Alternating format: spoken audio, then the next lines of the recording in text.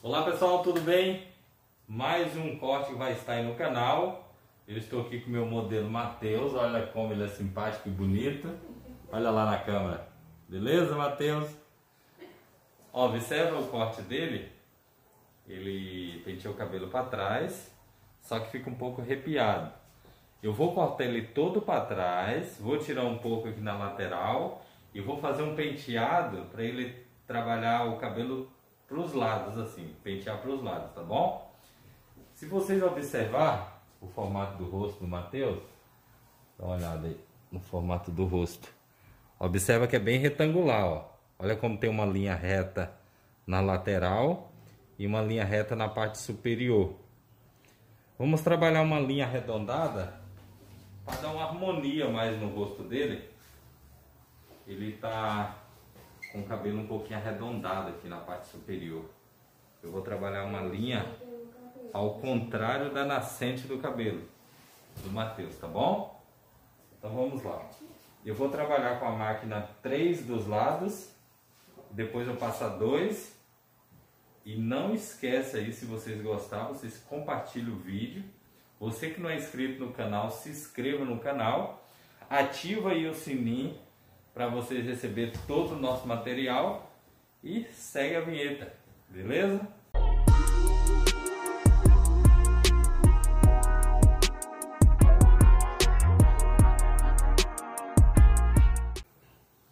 Ó, o primeiro pente é o 3. Eu vou trabalhar. Faz assim. Eu vou subir bem esse 3. Depois eu vou passar a 2 na parte inferior.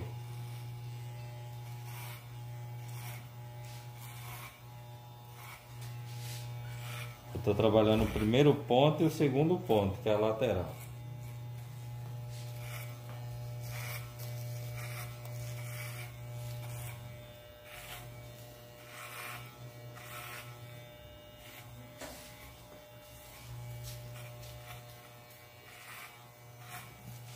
Primeiro ponto é a nuca. Segundo ponto é a lateral da nuca aqui, ó.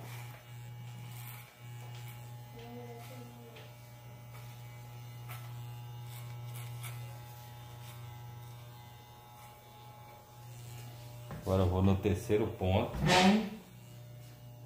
A lateral direita da nuca. Criança tem que ser mais rápido. Levanta assim a cabeça. Tá. Ele não se incomodar. Senão, daqui a pouco ele começa a incomodar os cabelinhos. Aí não para mais. Apesar que esse aqui é bem tranquilo.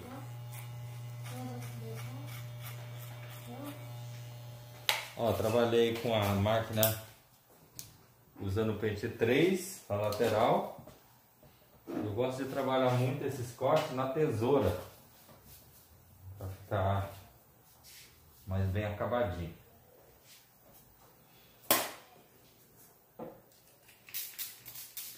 Vou mostrar uma técnica muito interessante aqui para vocês. Eu acredito que é a dúvida de muitos barbeiros, muitos cabeleireiros Levanta assim a cabeça, fica assim, olha para cima, um pouquinho mais. Isso, assim.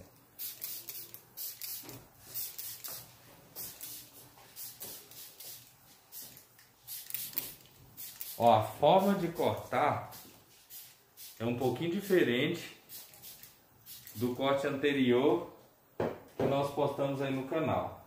O corte parece, só que a forma de cortar é um pouquinho diferente. Vamos lá. Observa nos outros vídeos que eu trabalho o ponto 4, penteando sempre o cabelo para trás, assim. Agora eu vou trabalhar o ponto 4, ó, tirei, vou tirar, ó, o primeiro ponto, cortar, observa no final, quando chegar no topo. Ó, vou seguir na mecha guia, ângulo de 90 graus, assim, fica retinho assim. Pronto, cheguei no topo.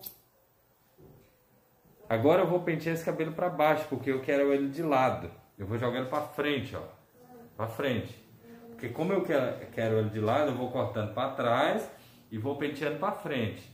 Quando o cliente tem um cabelo para trás, você vai cortando e jogando sempre para trás. Olha lá, ó. olha na câmera ali. Isso. Trabalhei o quarto ponto. Agora eu vou trabalhar o quinto, ó. Observa que eu estou penteando para trás. Aí depois eu vou jogar para frente. Ó. Chegou no topo, eu jogo para frente. Agora o sexto ponto, ó. Cortando, mexe a guia até o topo, jogando o cabelo para trás. Aqui. Chegou no topo, para e joga a mecha para frente. Entendeu? Agora eu vou trabalhar o sétimo ponto, assim ó, mais assim, sétimo ponto, lado esquerdo aqui, isso aí, fazendo a conexão aqui ó, da parte inferior com a superior, que é o sétimo ponto. Beleza. Agora vou trabalhar o oitavo ponto. O oitavo ponto eu sempre trabalho de trás para frente, é fazendo essa conexão da lateral assim. Um pouquinho mais assim. Eu vou encaixando as mechas no oitavo ponto e no sétimo ponto. Trabalhei o oitavo, agora eu vou trabalhar o nono. Que é onde eu faço a conexão da parte superior com a inferior nessa parte de trás aqui, onde eu não cortei. Fica assim retinho. Vou pegar a mecha aqui para vocês verem. Olha lá, tá vendo aqui, ó? A diferença. Eu vou fazer na curva, seguindo a curva da cabeça do cliente. Ó.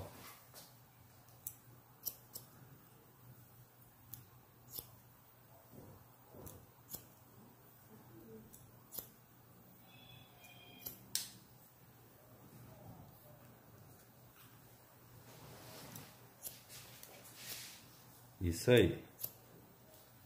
Beleza, trabalhei até o nono ponto. Eu quero que vocês observem aqui, ó, que o cabelo está marcado. Onde eu trabalhei o oitavo ponto. Agora eu vou tirar essa marca com a tesoura desfiadeira, que é essa tesoura dentadinha aqui, ó, como muita gente fala. Tá vendo? Observa assim, ó, fica retinho assim. Agora eu vou tirar essa marquinha. Olha como vai tirando, vai sumindo a marca, tá vendo aqui, ó? Olha desse lado, tá vendo a marca? Eu vou tirar ela agora.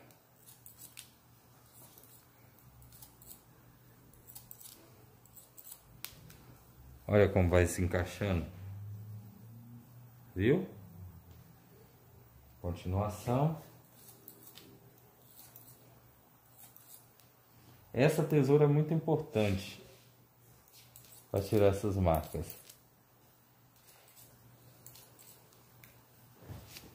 Isso assim, fica assim. Criança mexe mesmo. Tem que ficar controlando a cabeça da criança. E aí você vai arrumando, ó. Arrumando. Vai tirando a marca. Agora do outro lado. Hum. Observa que está marcado desse lado também, ó.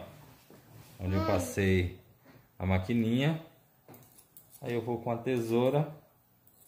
Tesoura desfiadeira, que é... Muita gente chama de tesoura dentada. Assim, ó. Fica assim, mais pra cá. Mais pra cá. Ó. E aí eu vou tirando a marquinha.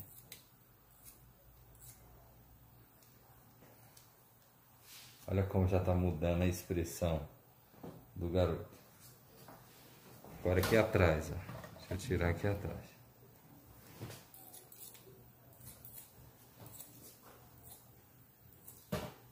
Olha que legal.